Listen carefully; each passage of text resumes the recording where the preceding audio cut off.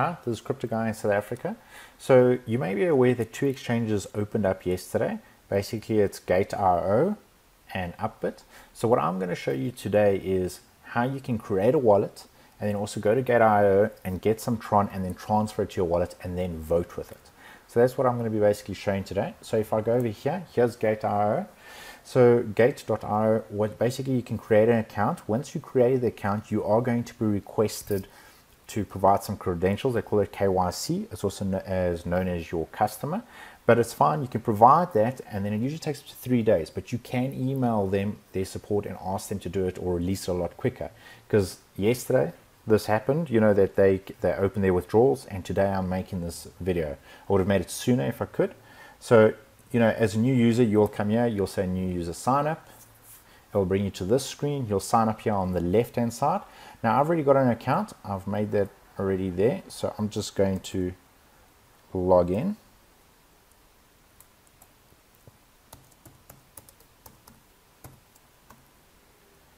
Okay, you got to enter a captcha.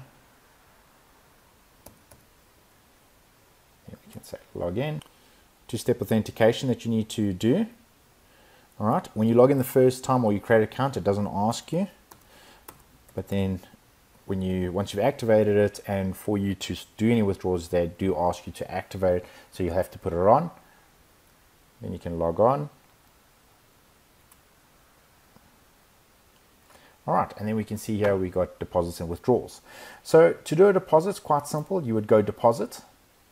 All right you would choose what you want to deposit. Now I've already done my deposit but what you'll do is you'll say deposit You'll get a code generator for you, and that will be your wallet. The first time it will might take a few seconds before it generates it, but once it's done it, you take it, you copy it, and then you transfer over here some Ethereum. All right. Then if we go back, we can now see that I've got some Ethereum, and what I'm going to do is then trade it for some TRX.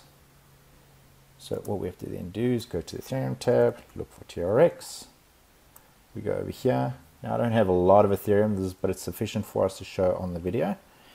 Okay, so the amount of TRX that's obtainable, I can then go get this amount because you can see it's obtainable there at obviously at this ETH price.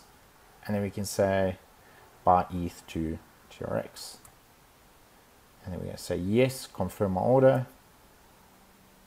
Then it's going to ask me uh, fund pass. So basically this is an extra password. When you set up it um, when you set it up it basically uh, asks you for that extra password.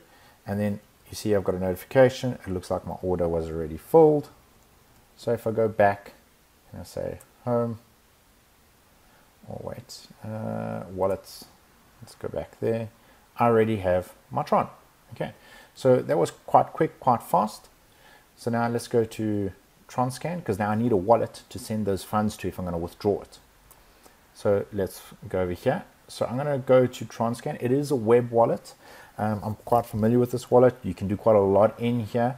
Um, to create an account, all you've got to do is say create a wallet. You got to then give it a password. So I always recommend, you know, typing your password in Notepad so you can see it first uh, make sure you are comfortable with what it is.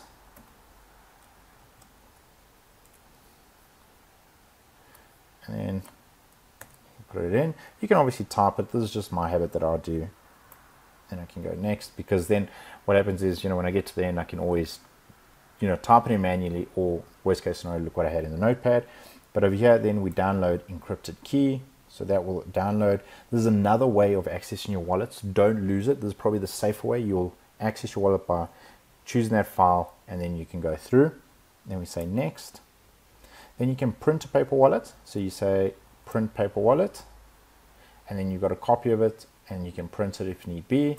The other thing you can then do is also just copy the private key and save it somewhere. It's critical that you copy this um, and you keep it somewhere safe because if you lose it and you lose the, the file before, you have no ways of getting your funds back. And then I'm going to go next. Then I'm going to say go to account page. All right, so now I've created my wallet. So let me log in. Select file, choose your file. It will then ask you the password that you created with.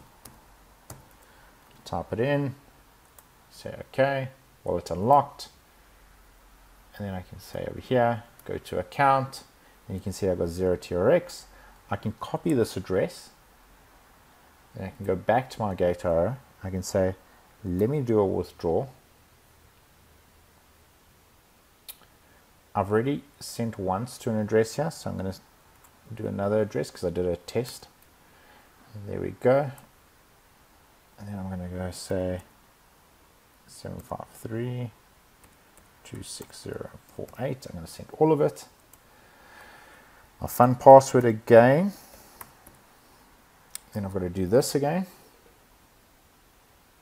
So again, you just got to make sure you got that Google Authenticator. We've got 971 614.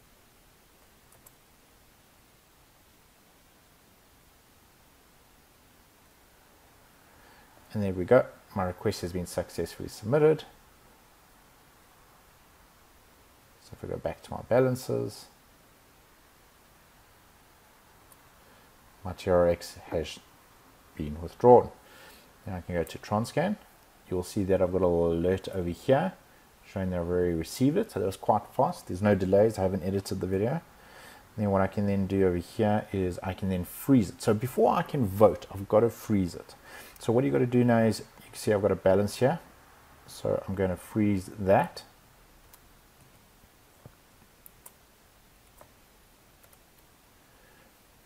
Okay, and say confirm, freeze balance. Once you freeze it, just remember your tokens, you don't lose it. It's just frozen for three days, so you can't withdraw it for three days. And if you vote, it doesn't cost you anything. It doesn't uh, take any funds away from you. So then we can go votes. Then we can say click here to start voting. And then you can find your super representative that you want to vote for. So you can go through and you'll see there are different people that you can vote for, different teams if you want to call it here. Here is Crypto Guy in ZA. This is me. You can right click here and say, you know, open a link in new tab, and you can get an idea of, you know, what I'm about and all the things that you can see about me. But I know already, so I'm not going to go through that in detail. Um, then I'm going to vote for myself. You can see here on top it says how much remaining. So I'm going to go 753 and then I'm going to say submit votes and then it'll say thank you for the voting. And then in the next vote cycle your super representative that you voted for will move up. So that updates every six hours now. So if you go look now your votes won't take immediate effect. It'll only take effect in the next six hours as an example. You can obviously also come here and view the live ranking. So this is you know the ranking as it is right now and the effect that it'll have in the next round all right, so you can see I'm at 5,702. This hasn't updated yet. It takes about two, three minutes. And then once it updates, this number will change.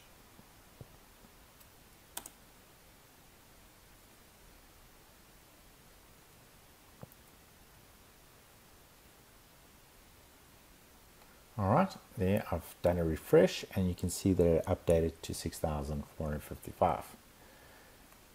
Okay, and that's how you vote and how you can get some TRX if you do not want to wait for your exchange to open. Thanks.